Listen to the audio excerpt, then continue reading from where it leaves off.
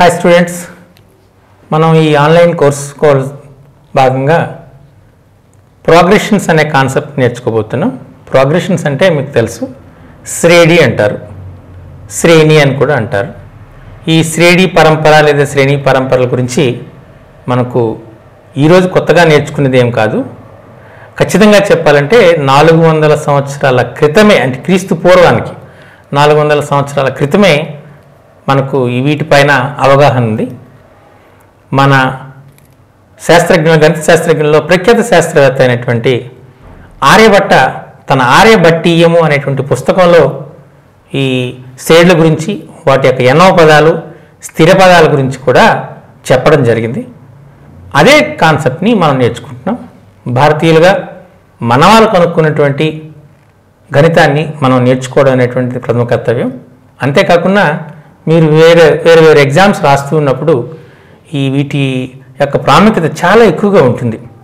అంతేకాకుండా వీటిని మనం క్వాంటిటేటివ్ యాప్టిట్యూడ్ అనేటువంటి అంటారు. దాంట్లో మనం ఎక్కువగా వాడుతూ ఉంటాం. కాబట్టి విద్యార్థులు వీటిపైన చాలా శ్రద్ధ కనపరచండి. చాలా సింపుల్గా ఉంటుంది. గణితంలో అంటే మనం చూడగానే గణితం అనగానే డిఫరెంట్ ప్యాటర్న్స్ మీద ఆధారపడుతుంది. రకరకాలైన ప్యాటర్న్స్ ఉంటుంటాయి. వాటి మధ్య సంబంధం ఉంటుంది. వాటిని మనం అర్థం చేసుకోవాలి. దాన్ని మనం కొన్ని దాని సందర్భాల్లో శ్రేణి అంటారు. ఒక సారూప్యత ఉంటే శ్రేణి అంటారు. మీరు ఎప్పుడైనా ఒక కొన్ని అంకెల వరుసని చూడండి. రెండు అనేటువంటి అంకె ఐదు ఎనిమిది పదకొండు పద్నాలుగు. తర్వాత ఏమొస్తుంది అని అడిగాను అనుకోండి. తర్వాత ఏంటి అని అడిగాను. మీరు ఏం చెప్తారు? రెండు ఐదు ఎనిమిది పదకొండు పద్నాలుగు తర్వాత ఎంత? అడిగాను. అప్పుడు ఏం చేస్తారు మీరు? రెండిటికి ఐదుకి మధ్య తేడా ఎంత ఉంది అని చూస్తారు. రెండుకి ఐదుకి మధ్య ఎంత తేడా ఉంది? మూడు ఉంది ప్లస్ మూడు. అలాగే ఐదుకు ఎనిమిదికి ప్లస్ మూడు. అంటే ఐదుకి మూడు కలిపితే అలానే ఎనిమిదికి మూడు కలిపితే వస్తుంది. పదకొండుకి పద్నాలుగుకి మూడు కలిపితే అంటే తేడా ఉంది. పదకొండు మూడు కలిపితే పద్నాలుగు వస్తుంది. రెండుకు మూడు కలిపితే ఐదు వచ్చింది ఐదుకి మూడు కలిపితే ఎనిమిది వచ్చింది ఎనిమిదికి మూడు కలిపితే పదకొండు వచ్చింది పదకొండుకు మూడు కలిపితే పద్నాలుగు వచ్చింది. కాబట్టి తర్వాత సంఖ్య ఏం రావాలి అనే ఆలోచన వచ్చింది అనుకుంటే ఏం చేయాలి? ఏం చేస్తున్నారు మీరు? మూడు కలుపుతున్నారు. అంటే మూడు అనేది పెరుగుతుంది. కాబట్టి మనం చేయాల్సిన పని ఏంటి? పద్నాలుగుకి మూడు కలపాలి. పద్నాలుగుకి మూడు కలిపితే ఏమొస్తుంది మనకు? పదిహేడు వస్తుంది. కాబట్టి పదిహేడు ఆన్సర్ అని మనం చెప్పచ్చు. ఓకే తర్వాత ఏమొస్తుంది అంటే ఏం చెప్తారు? పదిహేడుకి మూడు కలపాలి. ఇరవై వస్తుంది.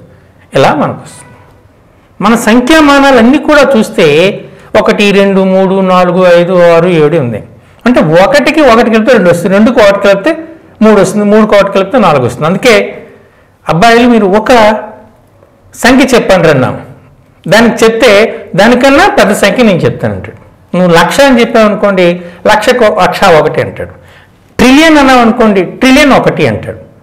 ఇలా అంటే అర్థం ఏంటి? ఓ నేను ఒకటి కలిపి చెప్తున్నానంటే ఒక ఒకటి పెరుగుతూ ఉంటుంది. ఏదైనా సంఖ్యకి తర్వాత వచ్చే సంఖ్య దానికన్నా ఒకటి తక్కువ ఉంటుంది. దానికి ముందున్న సంఖ్య కన్నా ఒకటి ఎక్కువ ఉంటుంది అని చెప్తాం. ఇదంతా ఒక శ్రేణి. ఓకే ఇది మీరు చూశారు. ఇప్పుడు మీరు ఇంకొక దాన్ని చూద్దాం. తీసుకున్న రోజు మనం నిత్య జీవితంలో కొన్ని వాటిని పరిశీలిద్దాం. నిత్య జీవితంలో ఫర్ ఎగ్జాంపుల్ ఒక ఉద్యోగస్తుడే ఉన్నాడు. ఆ ఉద్యోగస్తుడికి ఈ నెల జనవరి నెలలో రెండు వేల ఐదు వందల రూపాయలు జీతం వచ్చింది. ఆయనకి ఆ కంపెనీలో జాయిన్ అయినప్పుడు ప్రతి సంవత్సరము ఐదు వందల రూపాయల ఇంక్రిమెంట్ ఇస్తానని ఆ వాళ్ళు ఉద్యోగం ఇచ్చారని చెప్పాడు. ఈ సంవత్సరం రెండు వేల ఐదు వందలు అంటే రెండు వేల ఇరవైలో రెండు వేల ఐదు వందల రూపాయలు ప్రతి నెల జీతం అన్నాడు. రెండు వేల ఇరవై ఒకటిలో ఎంత అవుతుంది ఈ రెండు వేల ఐదు వందలకి ఐదు వందలు కలపాలి.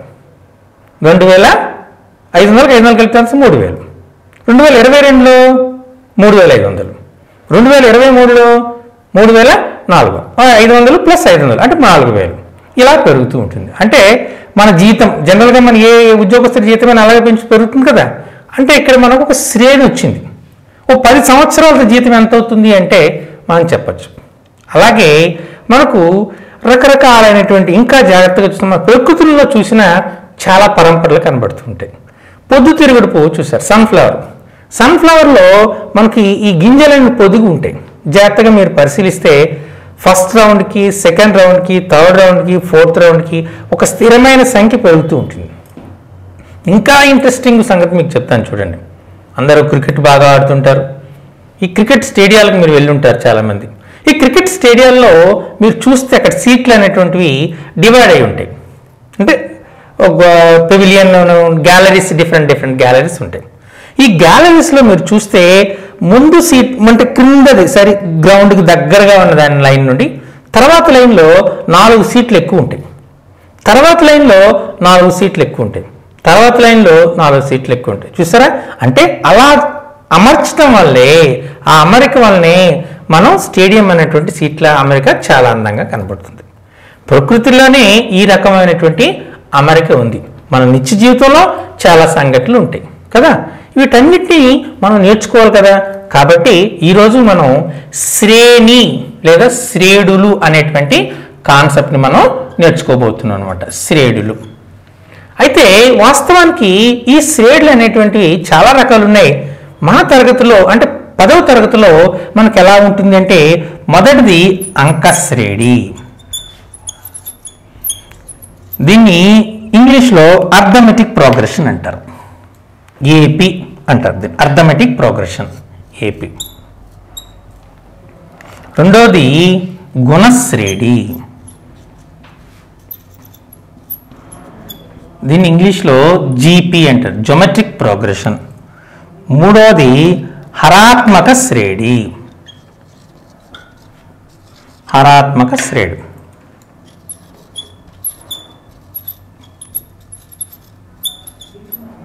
దీన్ని హెచ్పి అంటారు హార్మోనిక్ ప్రోగ్రెషన్. ఇంకా అంకగుణ శ్రేణి అని కూడా ఉంది. అంకగుణ శ్రేణి.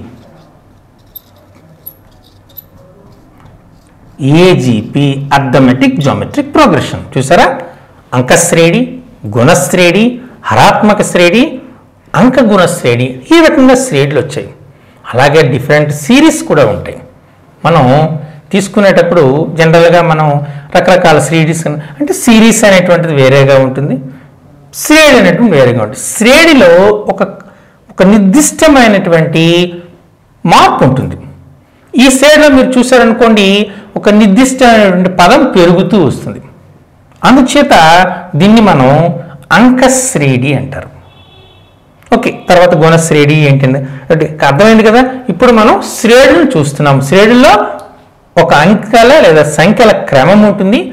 ఆ క్రమంలో ఒక నిర్దిష్టమైనటువంటి అమరిక ఉంటుంది. ఇలా నిర్దిష్టమైన అమరిక కలిగినటువంటి వాటిని గురించి మనం ఈరోజు నేర్చుకోబోతున్నాం. ముందుగా అంక శ్రేణిని నేర్చుకోబోతున్నాం.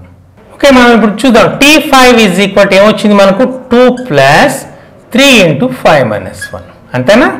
ఓకే. టీ సెవెన్ ఎంత వచ్చింది? Two plus three of seven minus one ఇందాక మనం హండ్రెడ్ పదం అడిగాను కదా అప్పుడు ఏం two plus three of hundred minus one వేశారు.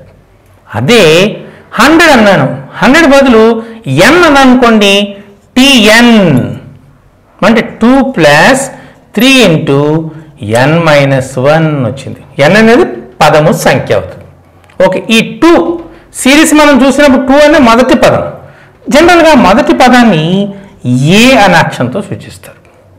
అలాగే త్రీ అనేది సాధారణంగా పెరుగుతున్నటువంటి అంశము విలువ. దీన్ని కామన్ డిఫరెన్స్ అంటాం లేదా పదాంతరము దశాభేదము అని అంటారు. కాబట్టి డి అనే అక్షరంతో సూచిస్తారు. ఓకే ఎన్ అనేటువంటి మీకు ఆల్రెడీ పేరు ఉంది కాబట్టి దీన్ని మనం ఎలా మార్చుకోవచ్చు ఫార్ములాని? T N is equal to A plus D into N minus one ఇది మనకు ఫార్ములాగా వాడుకోవచ్చు.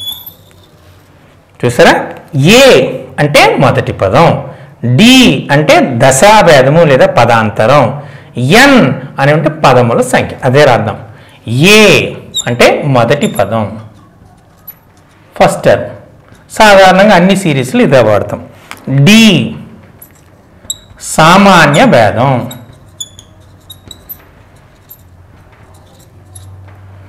నెక్స్ట్. ఎన్ పదము సంఖ్య. ఎన్నో పదము అనేటువంటి చూసారా? ఇక్కడ టిఎన్ కావాలంటే ఎన్నవ పదం అని చెప్పుకోవచ్చు. ఈ రకంగా మనకు కావలసినటువంటి పదమునాన్ని మనం కనుక్కోవచ్చు. T N equal to A plus D into N minus one. ఈ రకంగా మనం పదాన్ని కనుక్కోవచ్చు. ఓకే. ఓకే. ఇప్పుడు మనం చూసాం కదా. Two five eight eleven fourteen seventeen అని వచ్చింది. ఇప్పుడు నేను ఏం చేస్తున్నానంటే ఒకటి రెండు మూడు నాలుగు ఐదు ఆరు. ఈ ఈ పదాలను తీసుకుంటాను రెండుని ఏడుని కలిపి తీసుకుంటున్నాను. టూ ప్లస్ సెవెంటీన్ ఎంత వచ్చింది మనకు? నైన్టీన్ వచ్చింది. అంతేనా? ఫైవ్ ప్లస్ ఫోర్టీన్ ఎంత వచ్చింది? నైన్టీన్ వచ్చింది. ఎయిట్ ప్లస్ లెవెన్ ఎంత వచ్చింది? నైన్టీన్ వచ్చింది. చూసారా? ఇది అంకశ్రేణికి ఉన్నటువంటి ప్రత్యేక లక్షణం అన్నమాట. మొదటి పదము చివరి నుండి మొద- మొదటి పదం. ఆ రెండింటి యొక్క మొత్తం. రెండవ పదము అంటే ఒక ఒక చివరి నుండి. మళ్ళీ ఆ చివరి నుండి రెండవ పదము. ఈ రెండింటి మొత్తము అంటే సమాన దూరములో ఉన్న పదాల మొత్తము సమానము. ఇది ఈ ధర్మము కేవలం అంకశ్రేణికే ఉంటుంది. ఏ శ్రేణికి ఉండదు. అంటే ఒక శ్రేణి అంకశ్రేణి లేదని పోల్చుకోవడం కూడా చాలా సులభంగా పోల్చొచ్చు. ఫస్ట్ లుక్లోనే మనం పోల్చొచ్చు ఒక ఇంకో రకంగా పోల్చాలనుకుంటే మొదటి పదము చివరి పదముల మొత్తము రెండవ పదము చివరి నుండి రెండవ పదముల మొత్తము మూడవ పదము చివరి నుండి మూడవ పదముల మొత్తము అన్నీ కూడా సమానంగా ఉంటాయి. ఇది అంకశ్రేణి యొక్క గొప్ప లక్షణం. ఓకే. ఇప్పుడు మరొకటి చూద్దాం. ఇప్పుడు టూ సెవెంటీన్ ఉంది కదా ఈ రెండు ఒకటి రెండు మూడు నాలుగు ఐదు ఆరు. ఆరు పదాలు కదా? ఇప్పుడు మనం ఆరు పదాలు తీసుకున్నాం. రెండు ప్లస్ ఐదు ఏడు. అంటే మనకి ఏడు ప్లస్ ఎనిమిది పదిహేను. పదిహేను ప్లస్ పదకొండు ఇరవై ఆరు. ఇరవై ఆరు ప్లస్ పద్నాలుగు నలభై. నలభై ప్లస్ పదిహేడు యాభై ఏడు. అది ఇలా మొత్తం కలిపి లేదా మూడు పంతొమ్మిది వందల యాభై ఏడు అలాగని చెప్పచ్చు. ఓకే. ఈ అన్ని అంకెలు ఈ ఆరు అంకెలు మొత్తం ఎంత వచ్చింది మనకు? యాభై ఏడు వచ్చింది. ఈ యాభై ఏడుని ఇలా రాస్తున్నాను. యాభై ఏడుని మూడు పంతొమ్మిది వందల యాభై ఏడు. కరెక్టేనా? ఓకే. బాగానే ఉంది. మూడు ఉంది. మూడు ఉంది మనం తీసుకున్నారు కదా మీరు మూడు మూడు తీసుకున్నారు. ఈ మూడు అనేటువంటిది two plus five is eight two plus three is five five plus three is eight eight plus three is eleven కదా. మూడు అంటే సమానంగా దశాభాగం కలిగి ఉంటుంది కదా. ఈ త్రీని మనం డీగా రాసుకోవచ్చా? రాసుకోవచ్చు. తర్వాత రాద్దాం. పోన్లే. మూడు ఇంకో రకంగా రాయొచ్చు. ఒకటి రెండు మూడు నాలుగు ఐదు ఆరు పదాలు ఉన్నాయి కాబట్టి దీన్ని ఆరు బై రెండుగా రాస్తున్నాను ఓన్లీ ఓకే. ఈ పంతొమ్మిదిని ఎలా రాస్తున్నానంటే టూ ప్లస్ సెవెంటీన్గా రాస్తున్నా ఓకే ఇప్పుడు నేను దీన్ని మారుస్తున్నాను చూడండి. ఆరు. ఆరు తీసుకున్నారు. ఆరు పదాల సంఖ్య. ఒకటి రెండు మూడు నాలుగు ఐదు ఆరు. ఆరు అంటే ఎన్ ఎన్ బై టూ ఇక్కడ టూ ప్లస్ సెవెంటీన్ టూ మొదటి పదం ఏ. పదిహేడు లాస్ట్ పదం L S N is equal to N by two into A plus L ఇది ఎన్ పదాల మొత్తానికి సమానం. ఓకే. చివరి పదమే తెలియలేదు అనుకోండి అంటే N by two into A plus L అనేది ఎన్నో పదం అనుకోండి. తెలియలేదు. దానికి తెలియని సూత్రం ఏంటి? టీ అని అనుకోండి ఫర్ ఎగ్జాంపుల్ అప్పుడు ఏం చేస్తారు? N by two into A plus A plus N minus one into ఇంతకుముందు చూశారు కదా. కాబట్టి ఏమొస్తుంది మనకు? N by two A plus A two A plus N minus one into D. ఇది ఎస్ఎన్ చూసారా? అంతే. ఈ సూత్రమును ఆధారంగా చూసుకొని మనం అంకశ్రేణిలోని ఎన్ పదాల మొత్తాన్ని కనుక్కోవచ్చు.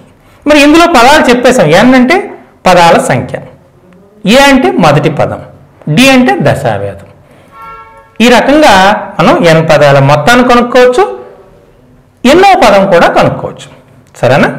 నేను ఇప్పుడు ఇచ్చేస్తున్నాను. ఒక అంక సైడ్ తీసుకున్న ఒక ఏపీలో మొదటి పదం A is equal to five దశాంతరం D is equal to three అయితే ఇరవై రెండవ పదం కనుక్కోండి. టీ ట్వంటీ టూ ఎంత అని అడిగాడు. మనకి టీ ట్వంటీ టూ కావాలనుకుంటే T N formula in T N is equal to A plus N minus one into D తీసుకోండి. టీఎన్ అంటే టీ ట్వంటీ టూ కావాలి.